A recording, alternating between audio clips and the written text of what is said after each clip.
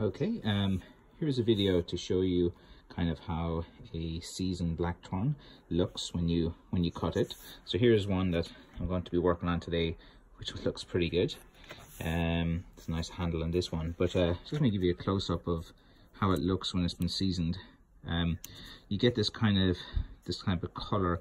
It's a bit of a kind of golden kind of color, and when it isn't seasoned, this would be very white and even if you kind of like you know used uh, an angle grinder here all the sap would start to to come up straight away on it which you can notice then. So that would be kind of like how it's kind of up close. When you cut a blackthorn uh, to see if it's been fully uh, seasoned or not. Um, so I just made this cut now just this way and this way. And you can see there it's kind of like a natural angle. Uh, this feature looks going to be pretty nice. I'll probably bring this about uh, also on this side I'm sure if I sand this down and try to get something out. And again that's kind of how how it looks. As it seasons it kind of loses that that purplish color and it goes that's this kind of like brownish color um as it seasons. So that'll be the stick there i'm working on uh, today.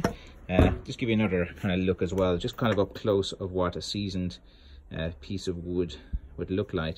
If you cut your your your blackthorn and it's still very pale uh, even though it looks hard, but it's still very pale, then it's not really fully seasoned. Um, I must make a video as well of showing you how to know when it's starting to rot and what you can and can't use uh, with blackthorn. Uh, like most woods as well, you have to make sure that it's fully seasoned and it's not not rotten, that it actually seasons pretty well. So there was a stick that I was shortening for some person. They wanted it shortened a bit, so um, I just cut that off. And uh, again, it's just a kind of quick video there today, just to kind of give you the idea of uh, of what it looked like. There you can see in the background, probably going to use these guys to, uh, to display in my shop. I'll probably like, there are bits of bog deal, um, got from the bog, you know, bog oak and bog deal. So uh, they're actually, these things are Christmas trees. Uh, I don't know what I'll do with them, but it's wood. So any free wood, that's actually my Christmas tree from last year. I think that was from the year before. So I might use that for something because waste not, want not. Anyway, there you go. There you have it. Thank you.